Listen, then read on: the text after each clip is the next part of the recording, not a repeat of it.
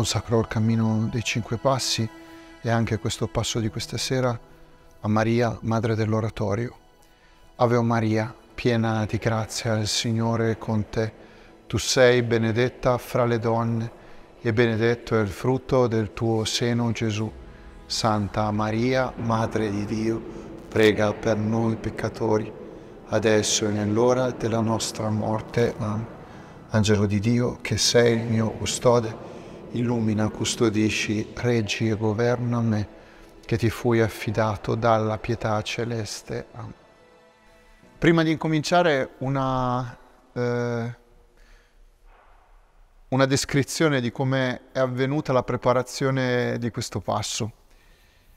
È stato un passo relativamente eh, semplice, cioè che si è formato un pochettino da solo, perché ho ricevuto dei, dei contributi molto significativi. Adesso vi spiego in che senso, cosa intendo per contributo significativo, cioè che mi hanno eh, toccato per la sincerità di chi mi stava scrivendo, cioè erano, si percepiva proprio un, una, una, sincerità, come un, un grido eh, a volte doloroso, a volte però sempre molto consapevole, molto a mio avviso lucido, molto anche aperto, non chiuso, non semplicemente una visione disperata, ma anche propositiva.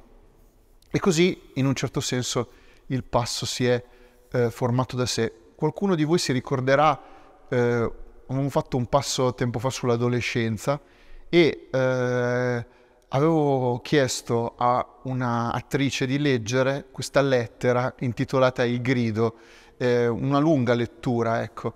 Era e rimane, secondo me, una chiave di lettura eccellente per capire il disagio di tanti ragazzi, di tanti adolescenti, di tanti giovani. Vi invito ad andarla a recuperare. Bene, l'impressione che ho avuto con questo passo, ecco, è stato di trovarmi di fronte a dei contributi, a delle, a delle proposte molto vicini a, quelle, a quel testo. Si dividerà in due parti, quindi diciamo l'incontro di oggi, molto semplice come struttura. La prima, una sorta di radiografia della, della questione, cioè il tema è quello dell'innocenza, il tema è quello del, dell'infanzia, eh, questa immagine, questa locandina con tre bambini vestiti già da adulti, con la faccia molto seria, molto ingrugnita, cioè, che, e cosa resta dell'infanzia, c'è ancora spazio per l'infanzia, l'età dell'innocenza, esiste ancora l'età dell'innocenza. Quindi eh, la prima parte è la lettura molto mm, calma di questo, di questo contributo che mi è arrivato. Una maestra, alla luce della sua esperienza, eh, da dieci anni di insegnamento, quindi dieci anni che ogni giorno incontra e vede bambini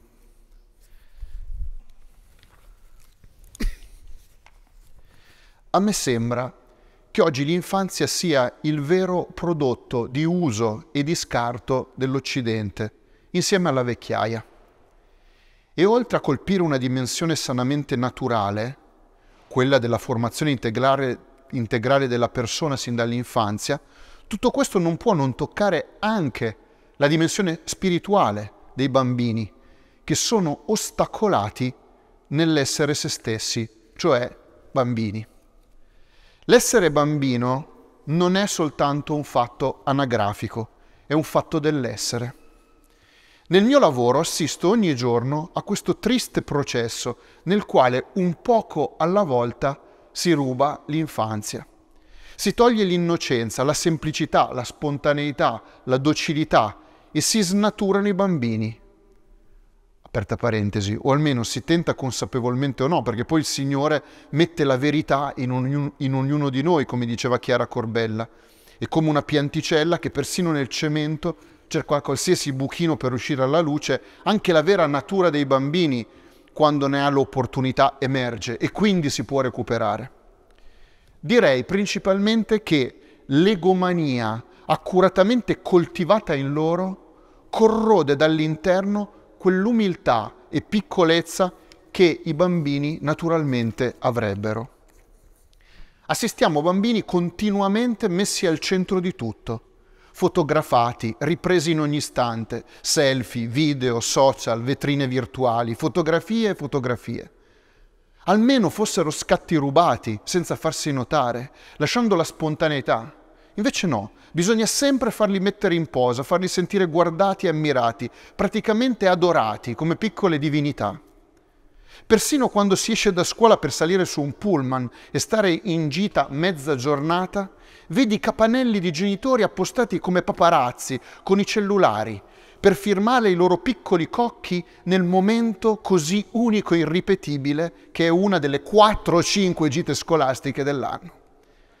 Nei panni dei bambini e anche nei miei, dato che purtroppo sono la prima della fila ad essere ripresa, aprendo io la fila, mi sentirei una star di Hollywood. Peccato che nella coscienza di un otto novenne non sia tanto chiaro che la realtà è molto più terra a terra. L'egomania si nutre e si ingrassa anche attraverso tutti quei no mai detti. Adulti che danno ai loro bambini un grande potere per la pigrizia, per la comprensibile stanchezza o forse anche per la sempre più diffusa incapacità di dire dei no con decisione, ma soprattutto con saggezza. I bambini così diventano dei piccoli dittatori capricciosi, che dettano le regole di tutto, dal nome del fratellino neonato, alle vacanze, alla scelta della scuola, al menù del pranzo e della cena, ai vestiti da comprare e da mettere. Non rendendosi conto, i genitori, che dare potere su queste cose porta inevitabilmente a uno squilibrio interno che poi si esprimerà in disagi vari, in cui tu sei piccolino eppure hai il potere di muovere una quantità eccessiva di cose intorno a te, ma ancora non hai l'intelligenza e la maturità. Co- tutte cose nelle quali noi non dovevamo affaticarci e provvedere a noi stessi perché qualcun altro se ne occupava per noi. Sempre in questa direzione è desolante osservare la contraddizione con cui molti bambini, ancora in culla già vestiti da piccoli ometti molto cool, con jeans in miniatura e mini Nike ai piedi, vengano trattati da piccoli adulti su certe cose, come quelle dette sopra, e poi su altre, quelle con le quali si dovrebbero misurare nella loro crescita, vengono lasciati eternamente infantili. Molti di loro dormono in camera, se non nel lettone, dei genitori praticamente fino all'adolescenza. Quando dal lettone della mamma e del papà passeranno a quello dell'amoroso o del moroso, senza aver mai provato il brivido di stare da soli con se stessi. Non vengono condotti a sostenere qualche frustrazione, cominciando dalle piccole cose quotidiane per cui anche un voto non eccellente a scuola diventa motivo per andare a lamentarsi dalla maestra, che dovrebbe correggere di meno, per non scoraggiare il bambino. Vengono sottratte loro tutte le occasioni di affrontare delle piccole, normali paure o fatiche della loro età, per non traumatizzarli. E così non diventano mai responsabili di se stessi, perché c'è sempre chi supplisce e chi li giustifica. C'è poi qualcosa che veramente mi fa indignare, con tutta me stessa, e che purtroppo vedo sempre più spesso, l'innocenza rubata, inculcando loro, specialmente nelle bambine, un'idea, un modello del mondo femminile totalmente distorti. I giocattoli delle bambine sono tutti orientati e orientanti delle piccole bambole dagli zigomi altissimi, gli occhi enormi, le labbra gonfie e corpi dalle curve imbarazzanti. Sono quegli oggetti che dovrebbero essere caldi e rassicuranti, che le bambine hanno tra le mani per anni e con i quali si misurano e si confrontano. E intanto l'idea, il modello di come e di ciò che una donna è, viene assorbito a regola d'arte così che non appena avranno l'età sufficiente per ricorrere alla chirurgia plastica e somigliare a quelle pseudo donne con cui hanno giocato tutta l'infanzia, lo faranno per forza, perché vedendosi allo specchio si vedranno troppo diverse da quel modello, inesistente in natura. Bevuto quasi dal biberon e ritrovato a conferma in tutti gli spot, in tutte le riviste, in tutto il mondo femminile degli adulti vestite ancora piccolissime con pantaloncini inguinali, praticamente mutande, Non c'è senso del critico del bello, della finezza, che invece si cura e si coltiva da subito. E non è un problema moralistico.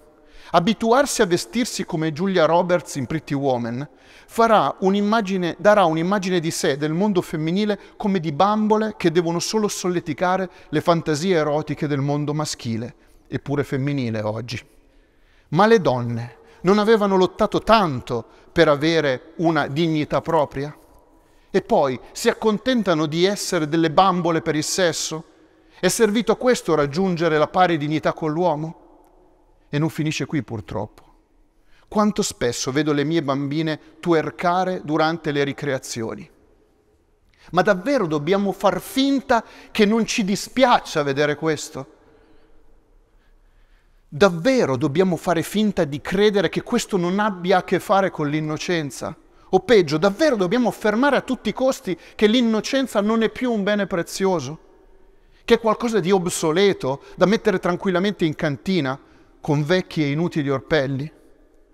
molto collegato a questo, io vedo che tutto ciò che dovrebbe essere pensato per i bambini viene trasformato in qualcosa che debba sempre imitare il mondo dei grandi. Non degli aspetti sani ai cui i bambini sono chiamati ad arrivare nella crescita, ma nella malizia.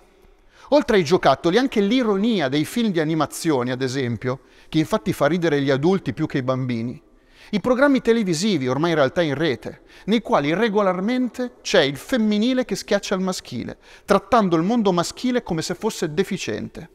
E mi viene da dire, uomini, ma non vi siete scocciati di essere trattati come pezze da piedi? Va bene la rivalsa femminile per alcune ingiustizie subite, ma adesso mi sembra veramente anacronistico e secondo me non se ne può più. È triste assistere a tutte le recite scolastiche, ma anche spettacoli teatrali veri e propri per l'infanzia, film di animazione, in cui quel che conta è solo far ridere. E regolarmente ciò che accade con il cliché femmina che ridicolizza il maschio. Anche questo impedisce lo sviluppo sano dell'infanzia. Anche questo crea da subito uno squilibrio nei rapporti. E poi il tema del divertimento tutto deve essere divertente, come se l'unica dimensione sensata della vita fosse il divertimento. Ho sentito dire buon divertimento ai bambini che entrano a scuola e ho sentito chiedere, ahimè, ti sei divertita a una prima comunione? Alla messa intendo. Ma che idea abbiamo e vogliamo tramandare della bellezza, del bene e del buono? Infine il tema delle separazioni tra i genitori, degli abbandoni, delle mancate testimonianze di fedeltà. Alcuni bambini, dopo che ho preso l'abito, mi hanno chiesto, ma se un giorno cambierai idea e vorrai mollare, potrai farlo? Se posso essere sincera, mi ha scioccata non mi capacito di come questo pensiero possa affacciarsi nella mente di un bambino, che è naturalmente portato al per sempre in tutto. È una frase tipica, sarai per sempre la migliore amica ad una bambina magari conosciuta poche ore prima sotto l'ombrellone o tra i banchi di scuola. Quanta sicurezza abbia, dobbiamo aver frantumato in loro, quanto dobbiamo aver remato contro a una naturale tendenza così forte. E l'esito è osservabile in una frase emblematica ed agghiacciante di un'altra mia bambina che sconvolta nell'aver scoperto che una nostra collega è sposata, le ha spiegato, io pensavo tu non fossi sposata se perché sei così simpatica, così divertente, sembri così single. Ce n'è anche per voi adesso. Io non so se sono solo io davvero un problema con questa frase. Vedo adulti ridere a una frase come questa, senza ragionarci sopra, e questo mi spaventa.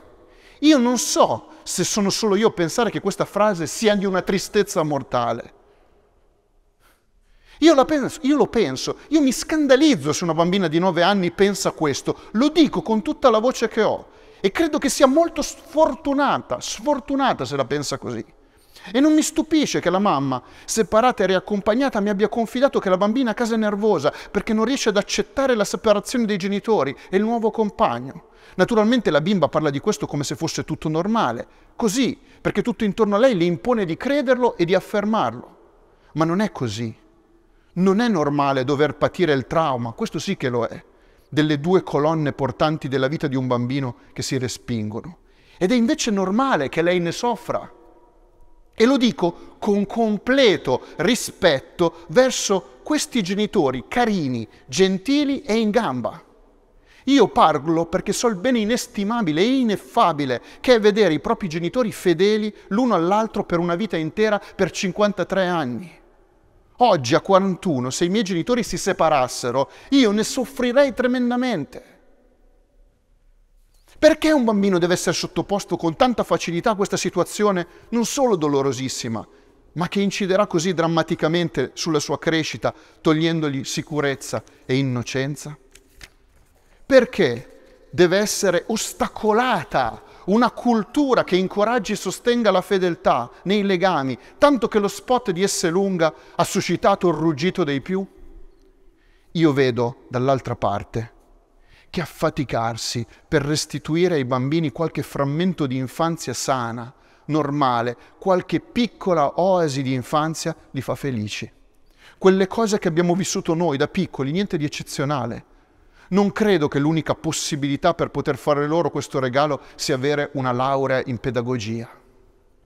Vedo che è molto importante dare loro un recinto netto e chiaro dei limiti che non possono oltrepassare. Si affezionano in maniera impressionante a chi fa questo, con dolcezza ma anche con molta fermezza. Con normalità direi Vedo che sono sereni quando hanno davanti a sé adulti che non permettono loro di mettersi allo stesso livello, adulti che si fanno rispettare. Vedo che offrire loro momenti di monotona tranquillità, di ascolto del silenzio, di riposo nel silenzio, li fa stare bene se vengono condotti a vivere momenti in cui il frastuono e il rumore a cui sono abituati da tv e cellulari sempre in funzione e a mille attività viene sospeso, stanno meglio. Ma quanta fatica ci vuole per condurli a saper stare qualche pugno di minuti così. Noto che abituarli da piccoli ad ascoltare anche canzoni da infanzia che non siano solo i tormentoni pop del momento, li fa sentire più se stessi, più bambini. Vedo che quando si mostrano loro libri con disegni belli e curati, invece di quegli orrendi disegni stilizzati ormai dilaganti, in tutta l'editoria per l'infanzia li apprezzano tantissimo. Sono una gran fan dei giocattoli e dei disegni belli, di quelli rassicuranti, caldi, che ti fanno pensare proprio all'infanzia. I giocattoli vanno scelti con cura, va ricercata la bellezza, la sobrietà, l'armonia, perché i giocattoli educano. Faccio invece tanta fatica a far apprezzare loro libri classici per l'infanzia. Solo i più abituati a leggere li apprezzano, ma gli altri non sono abituati a un linguaggio ricco. Non dico forbito, ma semplicemente non povero, non di bassissimo livello. A Natale mi piace decorare l'aula con addobbi non pacchiani, non vistosi, sobri. Gli eccessi stordiscono e creano disequilibrio, luci presenti per mesi e mesi, addobbi natalizi che iniziano subito dopo Halloween e che continuano sino al carnevale, indeboliscono anziché rafforzare il senso della festa, ma certamente favoriscono gli acquisti e catapultano in un mondo che somiglia di più a una discoteca che non all'orizzonte familiare della festa per non parlare poi dell'abitudine ormai diffusa ovunque di lasciare delle lucine natalizie in tanti negozi, specialmente bar e ristoranti, 12 mesi l'anno. Questo semplicemente toglie lo stupore nel momento in cui arriva il vero momento degli addobbi. Ecco, assistiamo a un mondo fintamente per bambini, in cui è tolto lo stupore perché tutto è dato in eccesso, sempre, senza pause, senza i tempi normali. Ciò che osservo dalla mia postazione di lavoro, e non solo, è che oggi l'infanzia non è custodita, non è protetta, in verità è letteralmente asfaltata a favore di interessi di altro tipo per quanto riguarda le grandi macchine dell'economia e a causa di tanta stoltezza che ci lasciamo somministrare con grande facilità, per la poca disponibilità e abitudine a usare un po' di semplice senso critico nelle cose e a riflettere prima di farle. mille abitudini culturali sbagliate, a cominciare dalla mania delle foto, vengono dalla superficialità con cui sono accolte dagli adulti. E chi ne paga il prezzo maggiore sono i bambini, che vengono defraudati della loro infanzia. Però voglio concludere con una riflessione di speranza. Noto che i bambini, se trovano un terreno in cui possono svilupparsi secondo la loro più vera natura, danno subito frutti molto belli. Ma che io vuoi dire? Fai un applauso. Che io vuoi dire? Che io vuoi dire?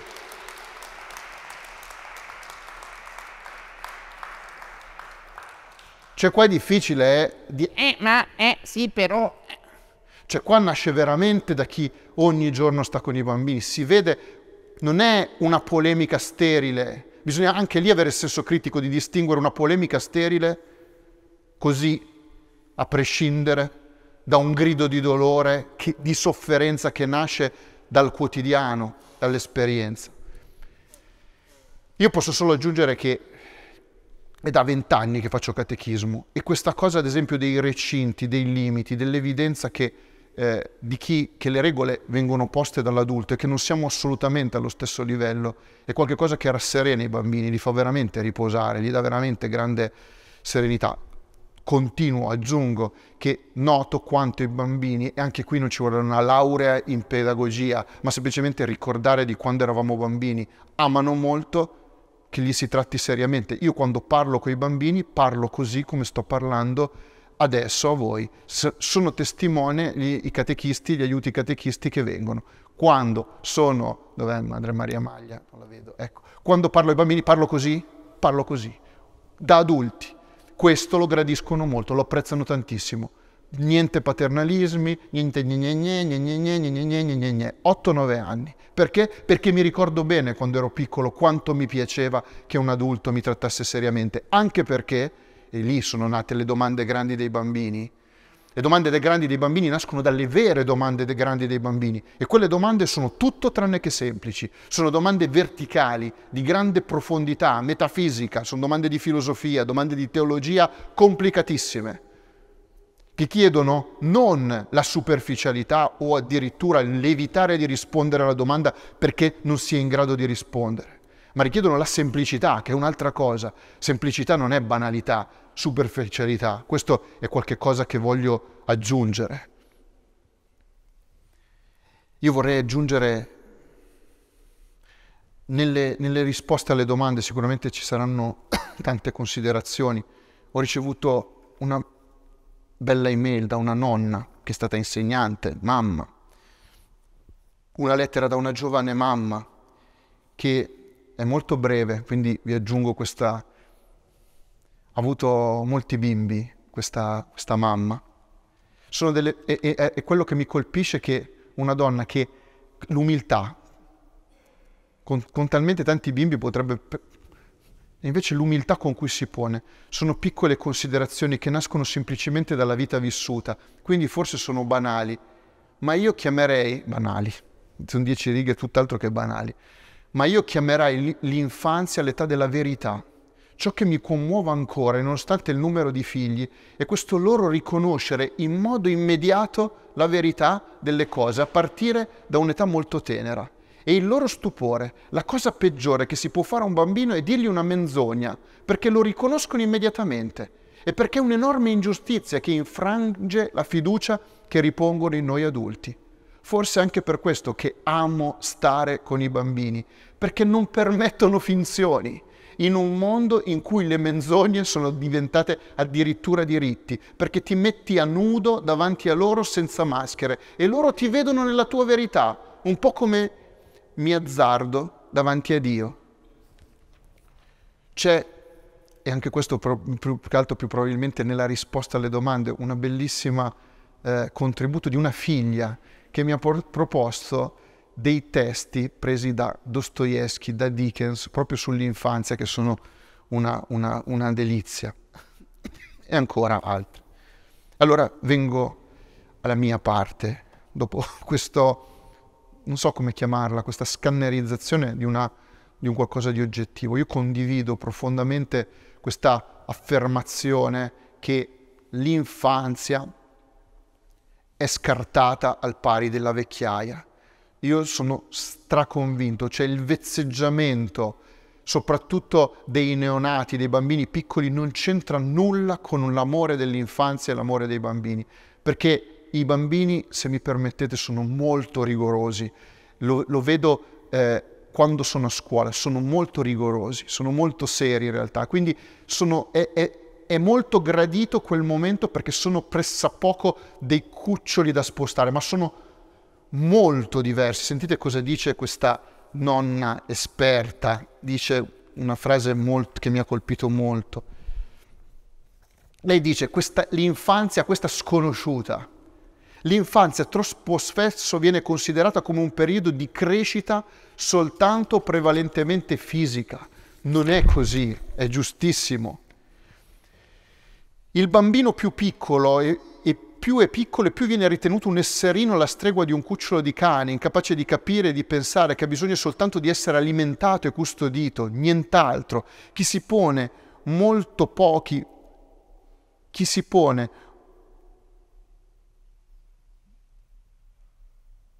Scusate, non riesco, devo aver saltato una frase.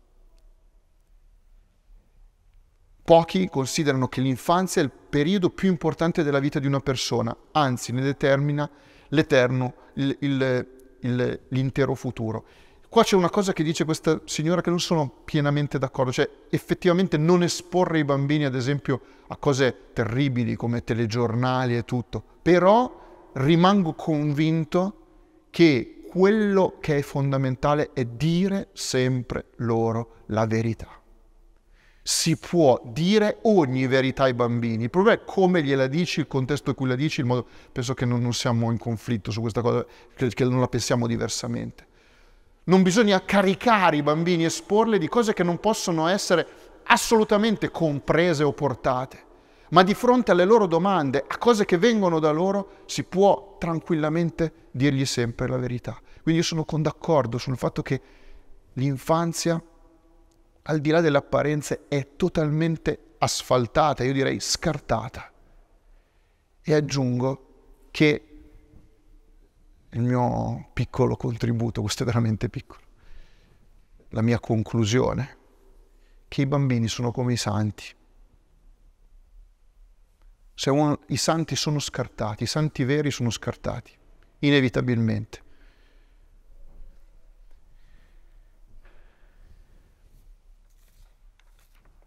Dice Gesù, lasciate che i bambini vengano a me, non glielo impedite, perché come loro infatti appartiene il regno di Dio. Io vorrei che tante volte voi poteste vedere, non si può, ed è bello che sia così, gli incontri di catechismo, ma vedere la semplicità, la facilità che hanno nel capire le cose di Dio. Si vede veramente incarnato ogni incontro di catechismo, chi li ha visti qualche volta perché aiuto catechista, ha visto questa, questa emozionante vedere quanto si incarni questa parola di Gesù. Lasciate che i bambini vengano a me, non glielo impedite, perché come, di chi è come loro è il regno dei cieli. Cioè, non, non è quell'idea arrotondata, ripeto, infantile che abbiamo dell'infanzia, ma hanno proprio una serietà religiosa, una serietà spirituale. Gradiscono tantissimo tutto ciò che è verticale in senso di profondo.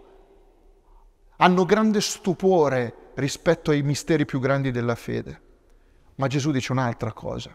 In verità io vi dico che se non vi convertirete e non diventerete come i bambini, non entrerete nel regno dei cieli. I santi sicuramente sono quelli che sono convertiti, sono quelli che sono ritornati bambini, che lavando le loro vesti nel sangue dell'agnello, cioè hanno recuperato l'infanzia dei bambini. Cosa significa convertirsi? Sicuramente hanno rinnegato se stessi, hanno detto di no a se stessi, come dice Gesù, se qualcuno vuole essere mio discepolo, se qualcuno vuole essere santo, cioè se qualcuno vuole essere veramente felice, rinneghi se stesso, prenda la sua croce ogni giorno. Hanno tenuto dentro i santi le parole di Gesù nell'ora della tentazione, hanno tolto ogni giorno i santi, fidandosi della provvidenza di Dio, le erbacce soffocanti delle preoccupazioni, degli affanni della vita, degli eccessivi piaceri.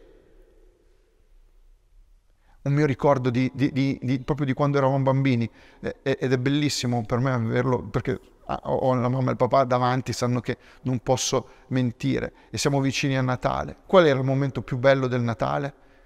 La colazione e lo scartare i regali assieme. Poi finito quel momento iniziava il momento drammatico e tutti gli anni, cioè, di andare dagli zii con quei nonni a vestirsi in un certo modo e tutte le volte la polemica che scattava, ma non possiamo andare con le cugine, ma non possiamo... Ma perché non siamo andati con le... Guarda che avevamo ragione noi. I bambini avevano ragione, dovevamo fare tutti i Natali con le bimbe, questa era la verità. Eh, ma ci sono anche gli altri... Andavamo un altro momento dagli altri zii. A Natale dovevamo andare a spaccarci di divertimento con le cuginette. Ci avevamo ragione noi. E noi non siamo mai andati all'altra, andavamo sempre a una. Ah, le sera venivano i cuginetti, che sfasciavamo tutto, è vero, hai ragione, me l'ero dimenticato.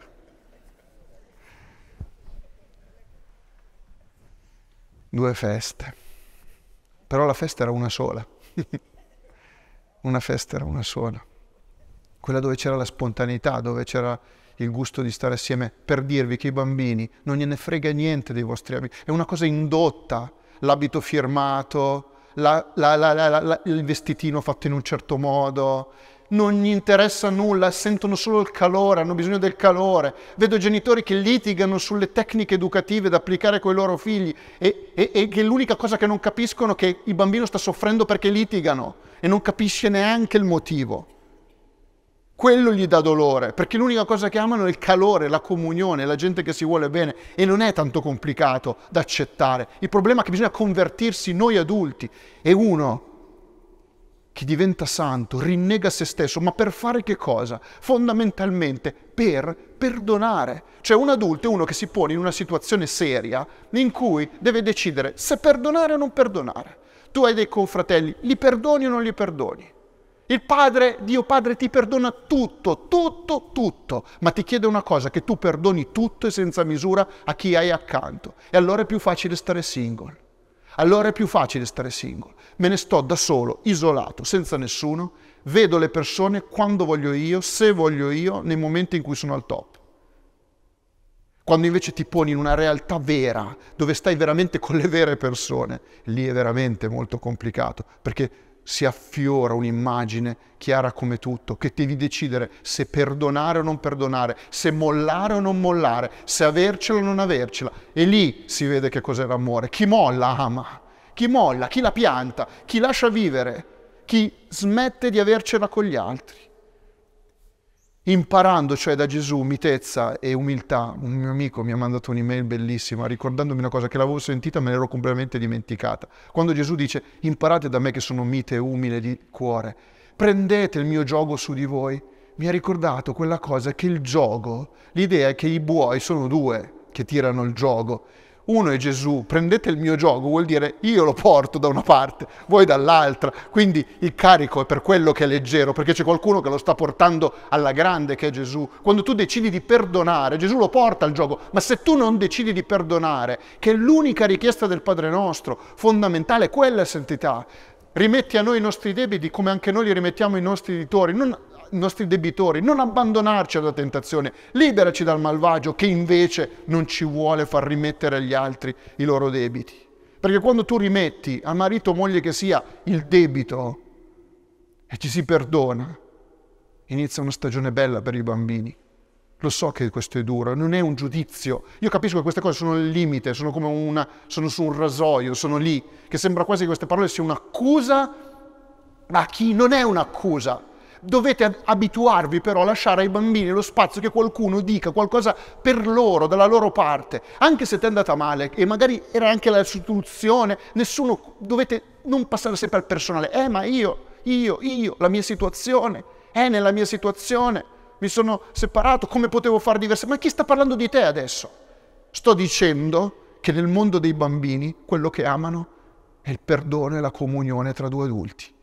Odiano le persone che litigano gli piace le persone che si vogliono bene.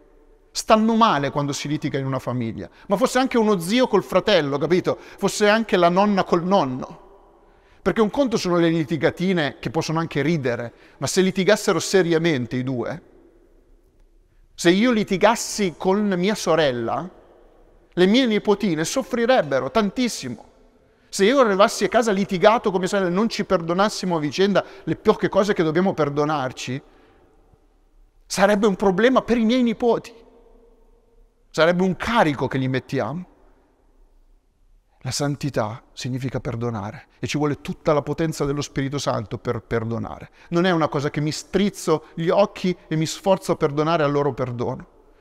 Vorrei sen- sì, semplificare che cos'è la vera santità. Non è una perfezione di cose fatte tutte bene in tanti ambiti, è una perfezione nell'amore la santità. I bambini, proprio come i santi, sono spostabili. Tempo fa raccontavo, ecco, mentre Dio non manipola, noi adulti possiamo manipolare i bambini, li, facciamo, gliela intortiamo, gliela raccontiamo, li, li possiamo spostare come vogliamo. Dio non ti intorta mai. Dio è serio, cioè tratta i suoi santi come i bambini li tratta seriamente. Gli adulti invece possono manipolarli. Vi raccontavo, raccontavo alla messa un, un, un, un, episodio realmente avvenuto, cioè ero in treno, un treno regionale da Milano a Vercelli, eravamo seduti in uno scompartimento, eravamo in quattro e c'era mamma con bambino, così in diagonale, e c'era un altro seduto. Bene, noi adulti eravamo tutti lì con la nostra tecnologia. Io stavo dicendo sul tablet l'ufficio, davvero, eh, non, eh, ero lì che stavo dicendo l'ufficio. La mamma sul cellulare, eh, il piccolo bambino che poi risultò chiamarsi Davide, era troppo bello, avrà avuto 8-9 anni, tutto vestito composto, stava così con le mani, l'ho scartato, l'isolato. Gli adulti, tutti chini a non guardarlo loro, sulle loro macchinette. Io sapete che non sono riuscito ad andare avanti a dire l'ufficio. Ho dovuto chiudere il tablet perché stavo troppo male a vedere. Dico, sono qua con te, cioè, ci sono, ecco, ti guardo, eccoci. E poi raccontavo a Messa questo, quello che è avvenuto. A un certo punto ci fermiamo in una stazione e Davide dice, ma Mamma, ma che cosa sono quei fiori? Lui stava indicando i fiori tra le due rotaie del binario. Era rimasto stupito che ci fossero in un posto così orribile dei fiori che sbucavano fuori, evidentemente. Cosa che tra l'altro mi commuove perché la noto sempre anch'io. Dico, ma come fanno sti fiori a uscire in mezzo, a, a, in un posto così osceno, due, tra i due binari i fiori? La mamma, senza neanche alzare te- l'occhio del, dell'iPhone, dice Ah, ma sarà morto qualcuno. Se lei credeva che fossero, capito, che qualcuno, c'è stato un incidente e qualcuno che aveva messo i fiori nel vaso. Allora io lì non ce l'ho più fatta e ho detto, no, ma guarda, si vede che, che il vento ha portato dei semini lì in mezzo ai binari e sono cresciuti lì. A quel punto la mamma dice, ma chi è questo estraneo che parla con mio figlio? E allora guarda per cercare di capire. E allora il bambino, sentendosi comunque visto, mi dice, ma come mai non, non vengono schiacciati dal treno? Ho detto, eh, perché i treni sono un po' sopraelevati, cioè il motore eh, non è che proprio tu, quindi passa e senza schiacciarli. Fa un po' di vento, si, si piegano, però diventano belli più forti. Eh, ho detto questa cosa qua. C'è problema. Se tu ti rendi conto che e sono scene che avete visto tutti. Quante volte tu ti capita che un bambino... Eh, no, una volta ha raccontato un mio confratello, un'altra scena, era, era, era in pizzeria e vedeva questa, sembrava proprio un bambino, una bambina che è stato preso dal padre e dalla madre, lui da solo, lei da sola, a mangiarsi questa piccola pizza da solo e tutto il tempo della cena il padre a guardarsi il suo cellulare, il suo iPhone così. Con questa bambina tristissima. Ma dov'è l'infanzia, l'innocenza? Ma veramente ci vuole una laurea in pedagogia per capire che tu hai bisogno di qualcuno che ti aiuti a uscire da un buco così e renderti conto che sei con tua figlia, far la fatica di guardarla, di parlarle, di dire qualche cosa. Cioè, mi ha fatto ridere questo mio confratello che è molto mite di solito, ma mi veniva una voglia di alzarlo, di prenderlo a sberle e di dirgli, ma Oh, ma guarda tua figlia, com'è triste. Solo che il problema è che tu dici questa cosa qua e se tu la dici, eh, Gesù però ha detto di non giudicare. È così, eh? Cioè, ad esempio, nei social sarebbe così. Eh, ma chi ti racconto le stesse cose sui social, cosa viene? Sotto i commenti. Ah, ma tu che sei prete, tu che non hai neanche una famiglia, tu che non sei la fatica, tu che qui, tu che là, tu che pontifichi. Sotto i, leoni da tastiera e tutto, eccetera, eccetera, che, che, che cominciano. Oh, ma questo è giudicare, non è che ti giudico. Diceva di fronte allo stupore di questo bambino, cioè quando un bambino ha ancora stupore, tu glielo ammazzi lo stupore, cosa sono quei fiori che lì? E detto, no, sono, è morto qualcuno, deve essere morto qualcuno. E, boh, cioè come una pietra tombale, capito? Senza manco alzare gli occhi, così sei lì che fai così. Mamma, ma che cosa sono questi fiori? Ma deve essere morto qualcuno. Canzone, citazione alta, Giovanotti, canzone fango. L'unico pericolo che sento veramente è quello di non riuscire a sentire più niente. Cioè, l'unico problema che rischio di sentire è che non riesco più a sentire niente. E quindi figurati se i bambini, i bambini come i santi sono scartati, come Gesù. Diceva il grande Chesterton, ogni generazione cerca il proprio santo per istinto e questi non è quello che la gente vuole, ma piuttosto quello di cui la gente ha bisogno. Ogni generazione è convertita dal santo che più la contraddice. Cioè il santo contraddice la sua generazione. La contraddice, non la, non la incelsa, non la loda, ma eh, veramente ci vuole una grande difficoltà a incelsare questa generazione. Comunque, Parlando di Santa Teresina, bisogna farlo però in modo non amaro, pieno di speranza. Diceva, parlando di Santa Teresina di Lisieux, lo scrittore francese Bernanot disse, il messaggio che questa santa porta al mondo è uno dei più misteriosi e dei più pressanti che esso abbia mai ricevuti. Il mondo sta morendo per mancanza di infanzia ed è proprio contro di essa che i semidei totalitari puntano i loro cannoni e i loro carri armati. Bernanò. Pensate oggi. Ecco, questi sono quelli profetici, ve la rileggo. Il mondo sta morendo per mancanza di infanzia. Ed è proprio contro di essa che i semidei totalitari puntano i loro cannoni e i loro carri armati. E allora come concludo? Con una preghiera che forse i più vicini, perché eh, i passi come sempre sono un momento di cristallizzazione di cose meravigliose che poi rimangono nel tempo. Tu magari vengono fuori in un pensiero, vengono fuori in un'omelia, vengono fuori in un incontro, vengono fuori in una conversazione e poi i passi sono l'occasione per cristallizzare tutto il meglio che hai incontrato su questo punto. Colletta, Colletta eh, è, non è il femminile di colletto, ma è la preghiera dell'inizio della messa. La colletta del giovedì, seconda settimana di Quaresima. O Dio, che ami l'innocenza e la ridoni a chi l'ha perduta. O Dio, che ami l'innocenza e la ridoni a chi l'ha perduta. Come fai a riconoscere un santo? Sì, non solo perché è scartato, perché è uno che gli viene restituita l'innocenza. Più passa il tempo, più diventa innocente, cioè con uno sguardo che fa quasi male. Se tu guardi certi quadri di certi santi ti, ti perforano, perché hanno la libertà dei bambini, hanno da adulti con la potenza di Dio, sono ritornati bambini, guardano le cose non, sono indisponibili, sono dei, sono dei piccoli selvaggi perché loro dicono le cose come sono, quindi dicono che il re è nudo, dicono che le, quello che non va non va. Fratelli e sorelle, non bisogna essere né... Io credo che ci sia una sorta di sguardo acritico sulla nostra modernità e sulla nostra contemporaneità, acritico. Adesso si fa un grande parlare di intelligenza artificiale, ma l'intelligenza artificiale scalderà i nostri cuori? ci farà sentire più felici? Ci darà amore? Non ci darà niente l'intelligenza artificiale. Ci darà una presunta conoscenza superiore, ma si può fare, dicevo ai miei allievi, un abbraccio con l'intelligenza artificiale. Non si può fare un abbraccio con l'intelligenza artificiale. Puoi fare un robot che fa... Uh, uh, uh, ma sentirei sempre che è un robot. L'intelligenza artificiale non ti può dare le uniche cose fondamentali, che sono il calore di un abbraccio.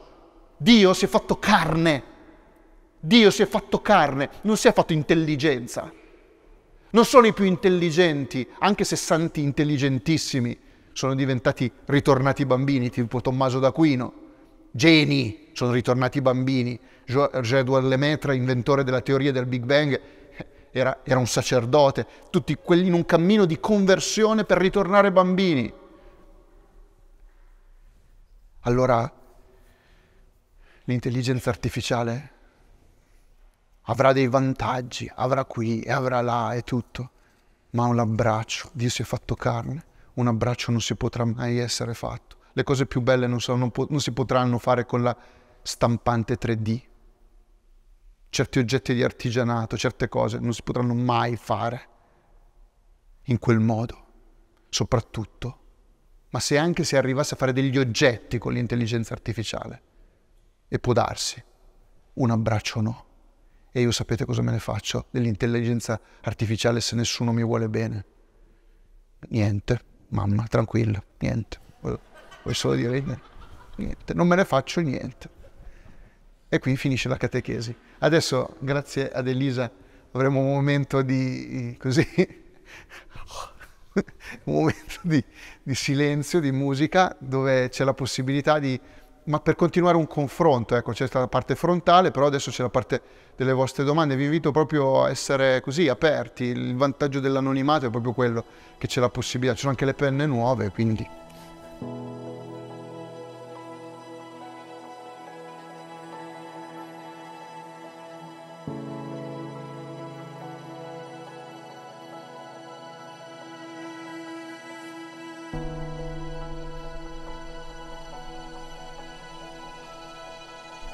Bene.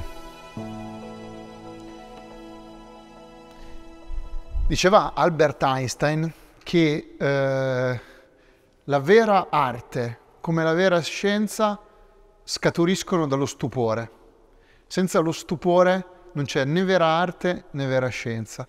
Cioè anche la scienza non è semplicemente una fredda valutazione, ha come stimolo, lo stimolo della scienza è proprio questo stupore, diceva Einstein. Così come eh, penso a come sono bravi certi artisti che hanno proprio cuore, hanno conservato come questo sguardo non infantile, ma dell'infanzia, lo stupore del bambino, guardare le cose con gli occhi del bambino. Uno di questi è Steven Spielberg, cioè suo, molti dei suoi film di successo hanno proprio questo, questa caratteristica, tu vedi la, un adulto che eh, ancora lo stupore di fronte alla realtà del bambino. Come comportarsi con chi scandalizza i bambini? Come si combatte con chi vuole traviare la loro innocenza con atti o ideologie? Sono un docente. Mi sembra che il primo interesse di tanti colleghi sia quello di influenzare l'opinione dei ragazzi con le loro ideologie. Immagino che lo stesso accada alle scuole materne elementari. Io immaginavo che Ecco, la parte diciamo delle domande è la più complicata questa volta perché eh, si cercano delle soluzioni che non sono a buon mercato e poi soprattutto eh, bisogna sempre aver chiaro, essere d'accordo in che contesto ci troviamo e anche capire quali spazi di libertà ci siano. Io credo che eh, qua il condizionamento esterno è talmente, oserei dire, stritolante, ma proprio stritolante, cioè le cose descritte, eh, non so co- cosa si possa fare, a volte sembra di dover frenare a mani nude una valanga, ecco, se è vero quello che abbiamo letto, eh, bisogna frenare. Quindi la pista che io percorrerei è quella proposta eh, dentro alla testimonianza che ho letto così eh, integralmente. Noto che i bambini se trovano un terreno in cui possono svilupparsi secondo la loro più vera natura danno subito dei frutti molto belli, quindi io penso, la risposta al mio collega è hai la grazia e la libertà di poter fare un'ora di lezione, eh, tu te la devi giocare su... Io un'ora di catechismo alla settimana con questi bambini, eh, sono perfettamente cosciente, che comincio a intristirmi, a pensare, eh, a fare le analisi solo, sociologiche, ma quante di queste famiglie poi vanno a messa, non vanno a messa, eh, chi poi li porta ancora, cosa sentiranno a casa, cioè vabbè, mi sparo, finisco, cioè, depressione cosmica, cioè, ma non, non funziona così, cioè, io ho l'opportunità meravigliosa, è come se giocassi tutto con quei bambini lì e, e, e senza doverli versare qualcosa dentro, ma eh, rispondendo alle loro vere domande, che alla luce di, di, tanti anni di catechismo, ripeto, sono domande vertiginosamente profonde e serie. E quindi eh, è come se io avessi solo quell'ora e, e, Dio che ha moltiplicato cinque pani e due pesci, moltiplicherà anche la mia povera ora di catechismo, sì o no? Scusa, eh? Ha moltiplicato i pani e i pesci, un'ora di catechismo non gli piace? Sbagliato? Ragionare così? Ecco, io ragiono così, cioè non perdo la fede. Il tempo che mi è dato, ma anche un incontro, eh? Oggi eh, ho avuto un incontro, io semplicemente non è che avevo delle grandi cose da dire. Si è concluso l'incontro e ho detto, spero che, che tu sia stato bene. Eh, sì, sì, sono stato bene. L'intenzione profonda è quella che di fronte a tanto freddo vorrei essere caldo, cioè il caldo di Dio arrivi attraverso di me. E Dio esaudisce, Dio fa. Cioè ho molta fiducia in Dio, nella sua capacità che con poco poco poco lui prende e moltiplica. Ecco. Questa è l'impostazione di un docente che ha ancora fede in Gesù. Cioè noi abbiamo vinto, volevo dirvi tecnicamente, cioè non è che le ideologie non contano niente. Passeranno i cieli, passerà la terra, la mia parola non passerà. Cosa vuoi che resti dell'ideologia, del potere? Niente, ci si ride sopra. Dovremmo essere come Guareschi, avere quella capacità ironica di sbeffeggiare con grande stile, grande classe quello che sembra assolutamente eh, intoccabile o il re è nudo, ecco, cioè bisogna ritrovare quella, quella santa capacità che alcuni comici hanno, e non, lo dico più perché porta male, che sennò poi... Certi comici hanno quella capacità di essere quei buffoni medievali che ti dicono il re è nudo, il re è nudo. Dov'è il limite tra il farli crescere nel bene, nella bellezza, nel buono, esporli alla verità del male, guerra, angosce? Ecco, secondo me il limite, la mediazione, se vogliamo, la mediazione è il compito dell'educatore, è il compito trovare le parole. Mi state, sto dicendo che è facile? No, no, no, non è per niente facile. Come ad esempio quando si deve parlare in modo vero, serio, poetico, non volgare, eh, non so, del come è nato Gesù. Che Gesù, sapete, sapete come è nato Gesù? Come lo spieghi a un bambino? Eh, eh? Cioè senza buttarla in... Bur- o non glielo dici o in burletta, cioè cosa crede un cattolico? È stupido un cattolico credere quello che crede. Cioè io sono stupido a credere quello che credo. Dico così ai bambini. Ma proprio così, l'ho detto mercoledì scorso, tre giorni fa. Allora, Gesù non è nato da un rapporto d'amore come capita tra un uomo e una donna. Un uomo e una donna c'è un abbraccio speciale d'amore nel quale nascono i bambini da questo abbraccio, c'è una parte del, dell'uomo, un semino dell'uomo, una parte della donna e fondendosi metà del codice di DNA maschile, quello femminile, insieme vanno a costituire la prima cellula del nuovo individuo che si chiama zigote. Ecco, Gesù bambino è stato uno zigote. La parte umana, materiale, data da Maria e l'altra, c'è stato l'intervento diretto di Dio. Cioè, Maria e Giuseppe non hanno fatto l'amore, non è nato così come nascono tutti i bambini. Li ho scandalizzati? No, adesso mi dovete dire se li ho scandalizzati. Sono stato volgare? No. Gli ho parlato seriamente. Lo credo? Si può. Una cosa che io sto rivalutando e capendo, a volte mi fa quasi paura, però è fondamentale, si chiama tecnicamente la gravitas. È difficilissimo la gravitas. Non ridacchiare, scherzare o ridere quando tutto il mondo attorno a te ride, cioè tu devi essere come una specie di gli occhi del serpente, fre- Alcuni possono aver paura di questa cosa qua, puoi far paura, ma tu fai paura, padre Maurizio. Io quando non c'è da ridere non rido. Non quando parlo di sesso non rido mai. Quando parlo, perché non parlo di sesso, quando parlo dell'amore tra un uomo e una donna non rido mai. Lo sghignazzo. Non la butto in cacciara quando ne parlo. E questo è molto gradito dai bambini. Se devo dire una cosa, cioè la gravitas è qualcosa di molto, di molto importante, credo. Da non genitore mi chiedo come si fa a sapere se l'educazione e l'ambiente familiare che si sta fornendo è effettivamente un ambiente ideale per il corretto sviluppo e la crescita del bambino o bambina.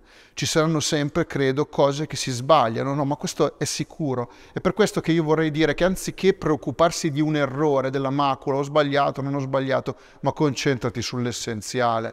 Hai un bambino, l'unica cosa, la, la cosa più importante è un amore profondo tra voi due, la comunione fra voi due, che, che, vi stimiate, che abbiate piacere di stare insieme, che avete piacere di parlare anche delle cose vostre, che avete piacere di fare l'amore, perché anche se un bambino non lo vede, c'è soprattutto il piacere di stare assieme come uomo e donna, è la cosa più bella per un bambino.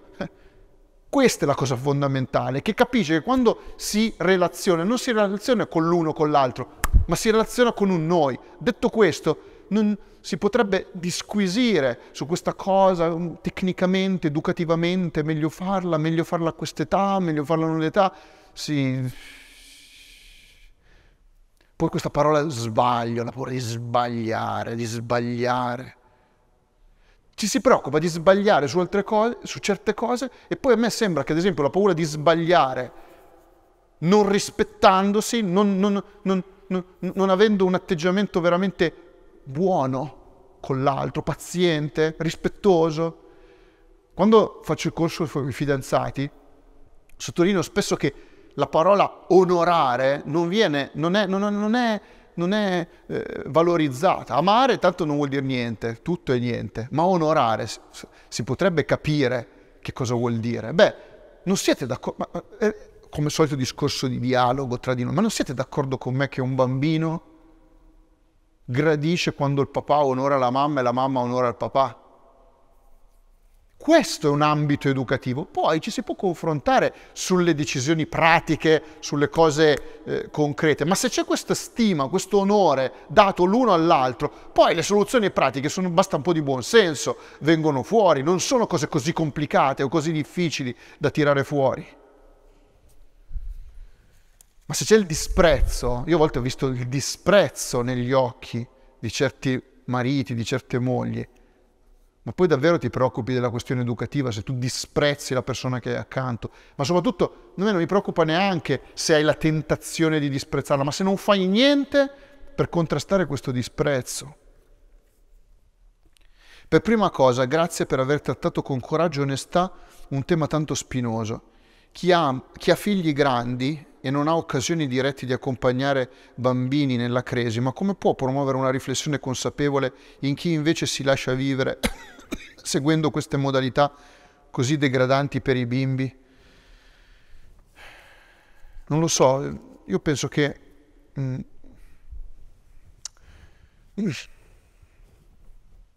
è molto difficile. Io mm, naturalmente mi ripeto, non è che mi scuso perché mi ripeto, è evidente che mi ripeto miliardi di volte e, e per me è sempre uno stupore di vedere eh, le persone che, che hanno piacere di ascoltare, perché è una ripetizione. Cioè io credo che il clima veramente esterno sia veramente stritolante, quindi uno può essere afferrato da un senso di impotenza. Io vorrei dire a chi ha scritto questa domanda, io non so cosa saranno i tuoi cinque pani e due pesci, cioè quel qualcosina di così minuscolo che ai tuoi occhi appare niente, ma che presentato alla potenza di Dio, cioè intendo come telefonata fatta, uno spunto, un... non so, vi faccio un esempio. Io ho dal punto di vista degli stimoli sono pieno di spacciatori, cioè ho degli spacciatori, cioè della gente che mi manda roba buona. Eh, non faccio nomi, però tu sei qualcuno che mi che mi spaccia sempre roba buona. Quando mi arriva qualcosa da là, eh, qualcuno, è sempre roba buona. lei proprio mi spaccia bene. Quando arriva qualcosa da lei non, non, non, non la snobbo mai perché dico ai ai ai, ai ai ai.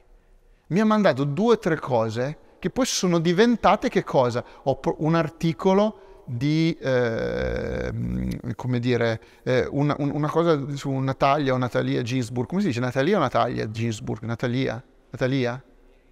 Natalia Ginsburg, sì, ma Natalia o Natalia? Natalia, ecco, uno dice Natalia e l'altro Natalia, eh, mettete d'accordo.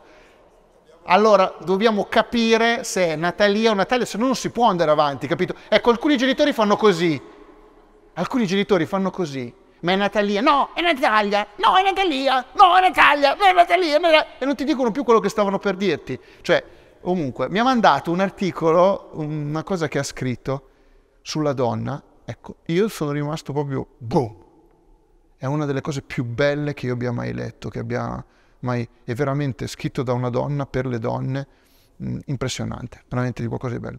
Ecco, quando tu hai tra le mani qualcosa che sembra che abbia un valore, non so, per dire, eh, tu pensi ad esempio che eh, una riflessione di un passo, una citazione di un libro fatta in un passo abbia valore? Io questo lo penso perché dietro c'è una riflessione tante volte, un pensiero, uno studio. Beh, ma tu puoi anche affaticarti a, a sbobinarne un pezzettino, cioè ti metti lì, lo riascolti, ti prendi il pezzo, proponi a qualcun altro che magari hai figli un qualche cosa, lo, ti prepari per farlo con umiltà, non con saccenza, non con aggressività, non con... Cioè, io credo che queste cose abbiano valore, cioè anche dire in modo per bene una cosa, non so, ti trovi la situazione dei, eh, di, eh, caso eclatante, i genitori che seguono il bambino, oggi vanno a scuola, cioè ecco questo è un altro contributo meraviglioso di una giovane mamma, molto, lo, lo, non l'ho letto perché è talmente bam bam, cioè che, che volevo stare un po' sotto Natale e non essere troppo aggressivo, però effettivamente, cioè, adesso lo leggo, cioè no, Cioè lei dice, sintetizzando ed escludendo i profili delle celebrità, eh, cioè c'è questa cosa che si chiama eh, non mi ricordo già più il nome inglese di sto schifo qua. Comunque c'è un nome inglese per dire anche questa cosa qua. C'è quelli che praticamente postano continuamente cose sui loro figli, cioè mettono sui social anche tutto il momento. Oggi facciamo, oggi eh, si svegliano, la colazione, li portiamo a scuola, cioè tutti i momenti della famiglia diventano social, ecco, e ha un nome inglese gente assolutamente comune che non ha competenze particolari, che spesso nemmeno lavora, ma che accumula visualizzazioni e like, che si traducono quindi in follower e di seguito in sponsor, pubblicità, quindi di fatto in soldi, grazie alle narrazioni sui piccoli.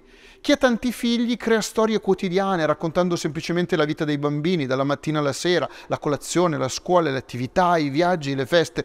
Tutto diventa un racconto in immagini. In una famiglia numerosa, se i più grandi andando avanti magari su, mostrano un po' di insofferenza, poi dopo diventerà omicidio nella fase successiva, ci sono sempre i piccoli così carini e teneri, disposti a essere ripresi senza troppe storie. Poi c'è il momento, deve essere socializzato sui social, il momento dell'attesa del bambino, eh. poi i ballettini, e trena, poi il, il, la scelta del, bambino, del, del, sesso del bambino e di altri video. Cioè, lei fa proprio, è impietosa, meravigliosamente graffiante, impietosa nel descrivere tutte queste cose qua. È talmente duro che io non, non, non, non riesco a leggere, però ho riso molto nel leggendolo. Ma mi è piaciuta molto una cosa che dice.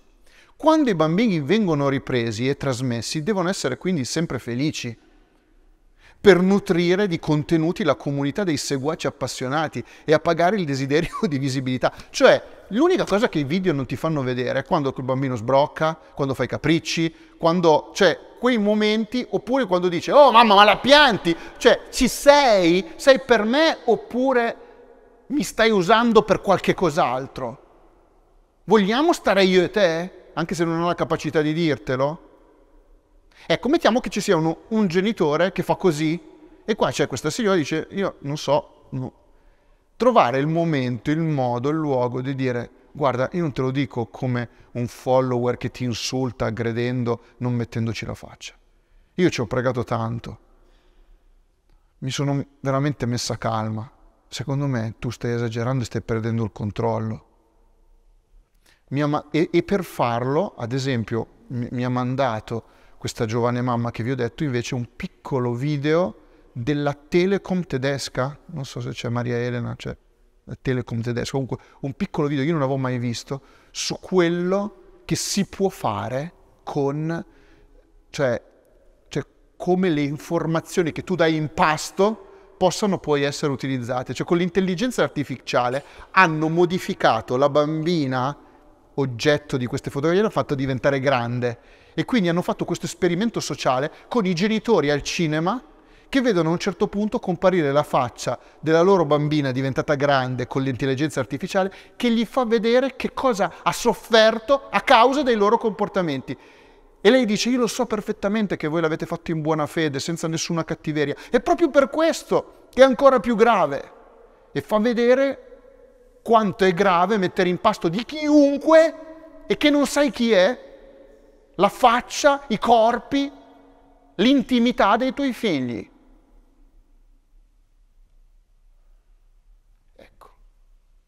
Questo mi sembra un contraddire la mia generazione. Io, però vedete il problema è che questa cosa io la dico, la sto dicendo in pubblico, ma vale il discorso della volta scorsa. Se io andassi a esprimere questa mia idea in un ambiente pubblico, mi farebbero a fettine, mi farebbero a pezzi. Se io mi mettessi a, essere, a mettermi sul palchetto social del mio profilo social, eh ma perché tu non sei sui social? Perché non fai una storia su Instagram dove dici questa cosa qui? Dove sotto poi bababam, bababam, bababam, insulti, eccetera. Chi sei tu per giudicare? Gesù non aveva detto questo. Capite? Dobbiamo riappropriarci della realtà pubblica che è questa, un incontro pubblico, mettendoci la faccia, dicendo quello che pensi. Cioè non è che me lo dico nelle sacrestie, me lo dico chiuso in camera mia, lo dico ai miei amichetti, faccio un incontro pubblico. Poi c'è anche la registrazione di questo incontro pubblico, ma rispetto alla vivacità mediatica, non fare... Allora, cosa ti dice? A me sembra il demonio, cioè una tentazione ti dice, beh, se tu non metti questa cosa sui social, se sei fuori dai social non sei nessuno. Ah sì? Se nel 2023 sei fuori dai social non esisti? Cioè io non esisto. Cioè mi volete far credere che non esisto?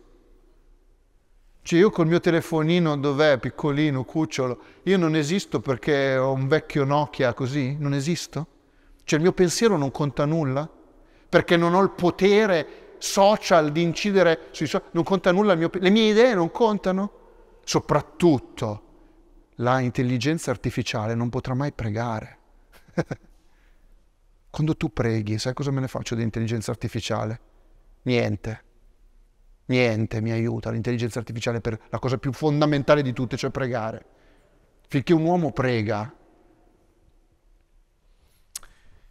allora io credo che tu che ha fatto questa domanda, se tu proponi in modo per bene, in modo ironico, in modo simpatico, basterebbe far vedere, dire guarda, ma, ma anche il porgere le cose, capito?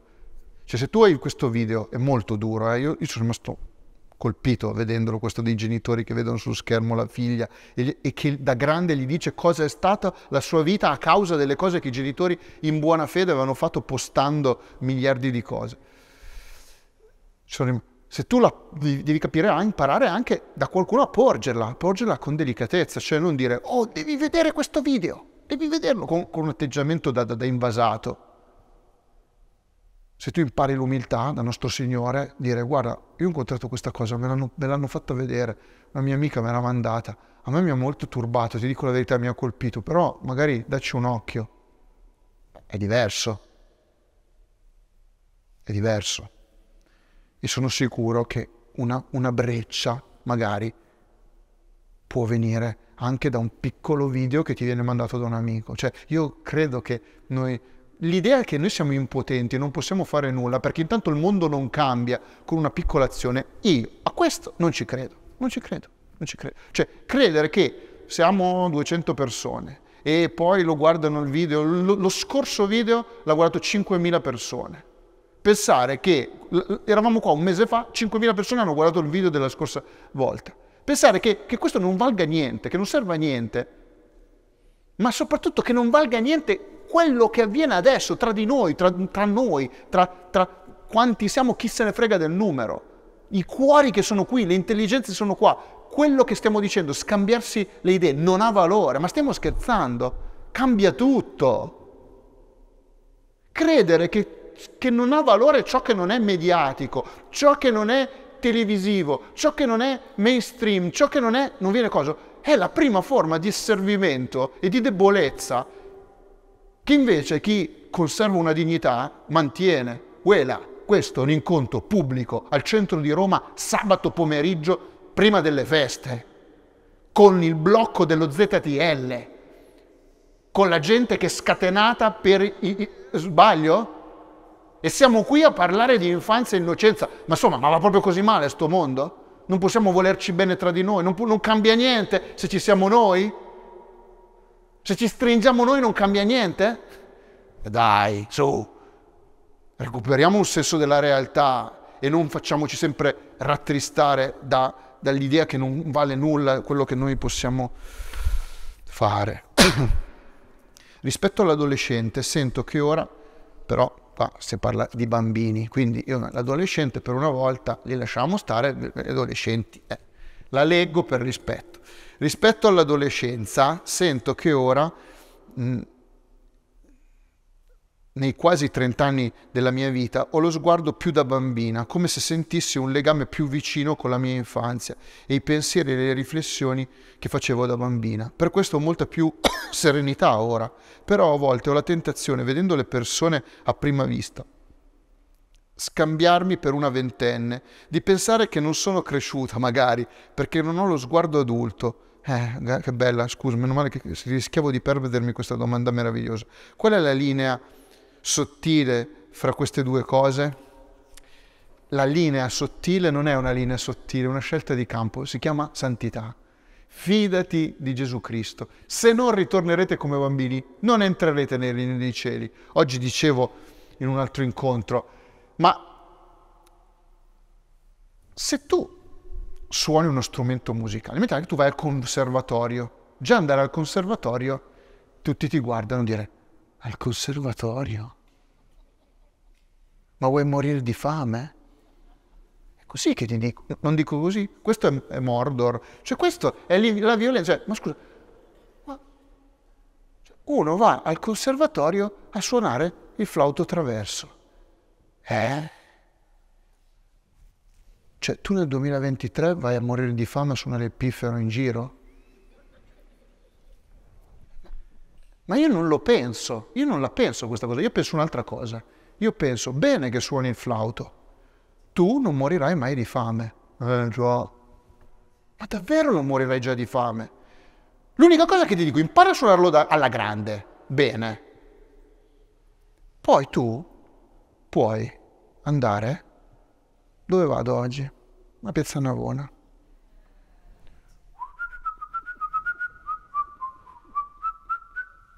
Oh, uno mi ha detto che suonando la chitarra, da, me l'ha detto un mio confratello, che è un suo amico, suonando la chitarra tra l'altare della patria e il Colosseo, in poche ore tirava su 50 euro. E diceva, e cuccavo pure, andavo pure con le ragazze, con le straniere. 1500 euro al mese meravigliosamente black. Tax free. Oh, ma sai quanto è? Si deve tagliare. Ma perché? Perché? Io non lo capisco. Perché? Questo non la tagliamo. Questa non la tagliamo. Questa è benedetta sta cosa qua. Dai. Tu la adori tu. Allora le ho detto, ma per favore, ma visto che vai al conservatorio perché ti piace suonare, quando ti eserciti, per favore un po' di fantasia, ma perché lo devi fare nella tua stanzetta chiusa, imprigionata in camera? Vai, bella giornata, vai a Villa Panfili, ti metti su una panchina a favore di sole, ti metti il tuo coso così, provi lì. Quando sei già quello crei un ambiente, immagina tu vai a Villa Parfili tutti.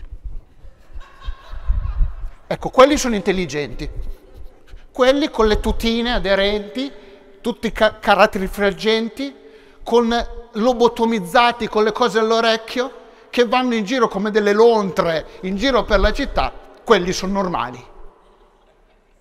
La studentessa di conservatorio che anziché provare chiusa va all'aperto col flauto è un po' originale.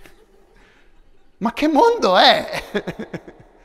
Ho preso il mio bellissimo cappellino. Eh, vado a prenderlo un attimo, Thomas, lo so che non si fa, però vado a prendere il mio cappellino che volevo farlo vedere. Ma qua ho questo cappellino, tanto la registrazione va avanti. E allora chiedevo, ma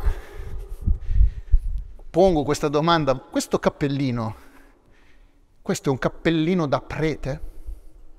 Ma perché no? perché no? Cos'ha questo cappellino che non va? Perché non bisogna metterlo? A me piace. A me mi piace. Ma perché non posso mettere... No, un altro ancora più, più carino. Ma perché non posso mettermi un cappello così? Perché? Perché? Ah, questo è un altro discorso. Posso... Ma, ma, davvero un abbinatore? Ma a me no, a me sembra che ci stia anche perché c'è, c'è, il nero che richiama il nero. È vero che blu è nero, burino vero, però c'è anche il nero su nero cioè, e anche questi colori un po' neutri che non è, non è il massimo, però col giaccone ci stava bene. Cioè, ma perché tu non puoi recuperare quella libertà serena che quando non fai male non fai niente di male a nessuno, ma vai a provare col tuo flauto al pa. Poi quando sei pronta quando sei pronto e sei vai, vai in Piazza Navona, cestino carino, per i miei studi. per i miei studi, tu inizi a suonare. Cioè, se non c'è il racket delle castagne e che arriva qualcuno a dire eh, bella, qua non ci puoi stare, questo è il nostro territorio. Cioè, perché a Roma questo succede, solo le castagne possono stare. Cioè, se tu suoni il flauto non puoi stare. Cioè, ma se tu suoni il flauto, tiri su e puoi andarti a pagarti un piccolo viaggio, una cena, uno strumento, o sbaglio? Ma è così fantascientifico? È così sbagliato? Ecco, io direi che la, rispondendo alla domanda, con la potenza dello spirito tu ritorni bambino, anche in una certa libertà interiore, e ti preoccupi solo di amare le persone, di non giudicare, di non condannare. Ma quando hai fatto questo e tu rispondi al buon Dio e dici, ma Signore, io non odio nessuno, benedico tutti, la cosa più importante sono a posto, ma posso mettermi il cappellino che voglio. E se mi diranno che hai uno sguardo non adulto, beh, ci sarà un ragazzo, un uomo che ti sta aspettando così come sei e dice, guarda, sono stanco di trovare delle donne con il sguardo arrabbiato, nervoso, incavolato ho trovato ancora un po' di innocenza nei tuoi occhi ed è una cosa molto bella, se si può ancora dire.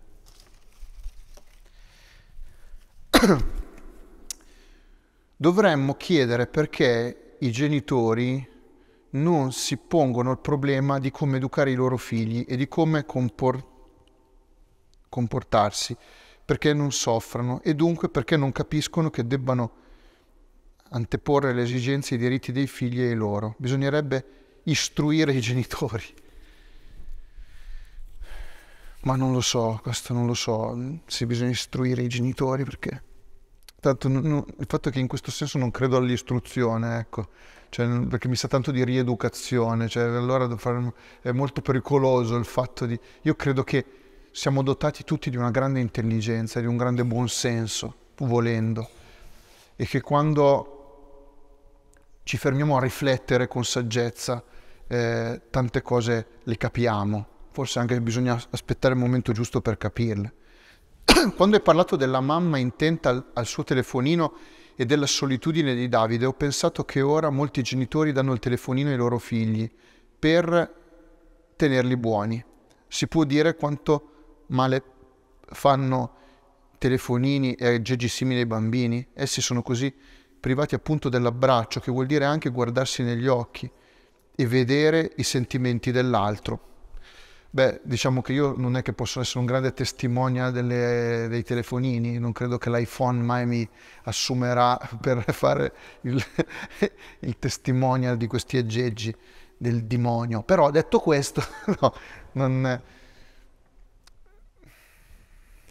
credo che ci sia un grande acriticità ecco, nell'utilizzo di questi strumenti il mondo, non, c'è una, una sorta di, di, di, di, dogmaticità che tu devi parlarne in un certo modo, devi dire certe cose e che la criticità viene liquidata troppo facilmente con eh vabbè, tanto non si può tornare indietro, e eh vabbè, ma allora cosa facciamo?